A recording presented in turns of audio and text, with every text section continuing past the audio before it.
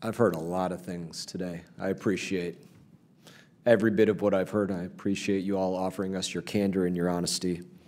And I'd ask that you bear with me for a couple more minutes of questioning.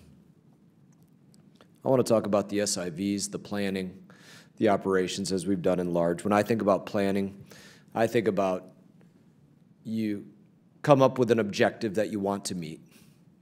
And after you have an objective that you want, you come up with a strategy and tactics by which you think you're going to accomplish that objective. And then you do something really important. You practice it.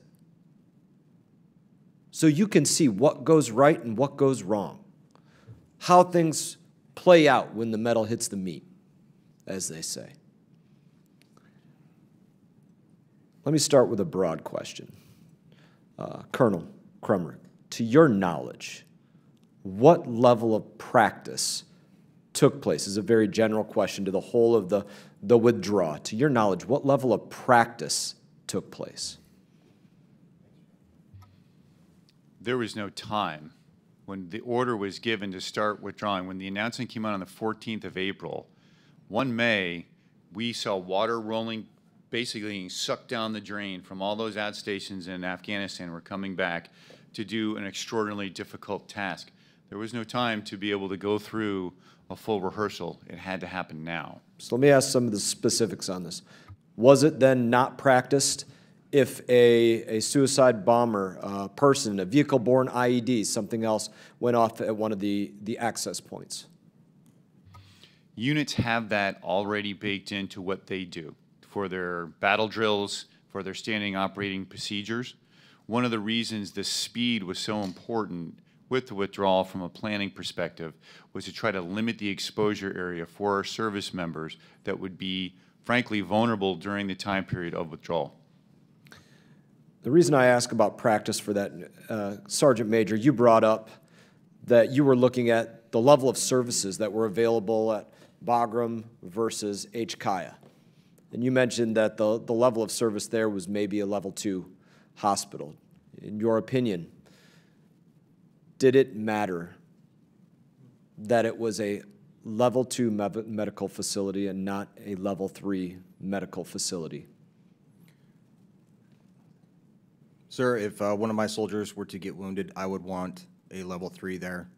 Um, Why?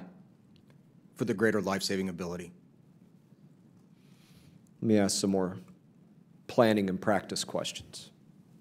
Was it ever practiced that there would be thousands evacuated on civilian flights that pulled cash out of their wallets and flew halfway around the world to get people out of what was effectively a still a, a standing war zone, Colonel Krummrich? No.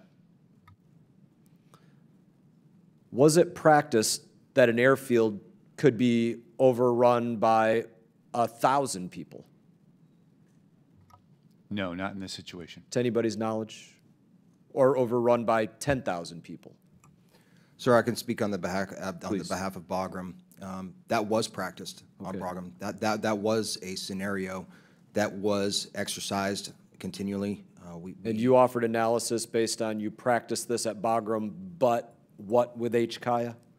So I don't know. I, I- I am not privy to, uh, to what happened at HKIA. I was not there, but I can say that uh, these contingencies were very well rehearsed and planned for in Bagram. How many airstrips at Bagram? How many runways? There are two main runways that you can take off from that I am aware of. Was it practice that they may be down to one runway at HKIA? I don't know that it was. There's a lot of these questions that we can ask about what was practiced, what was planned for, what was prepared for.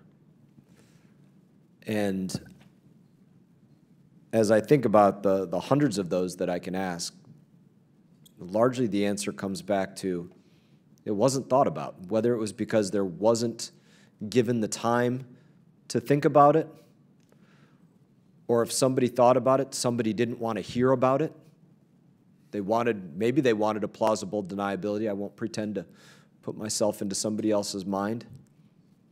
But there was a, a willful ignorance that took place with this withdrawal. Cost the lives of service members. It looked like you had a comment on that before I finish up. I'm happy to hear you out, Mr. Cromer or Mr. Colonel. I thought I saw your heads go up. You know, it appeared to me as though there was a willful ignorance. I think the facts bear that out. And I can't say anything more than what my colleagues have already said on this. Other than that, it cost unnecessarily the lives of our service members, and it leaves those that are still serving and those that are still mourning with the question of what has changed. And I can't come away after several hours of questioning with you all and tell them this is what has changed. This is who learned the lesson and who would say, Yes, I would absolutely do that differently.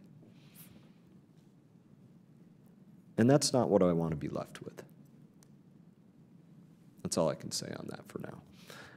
In that, I'm going to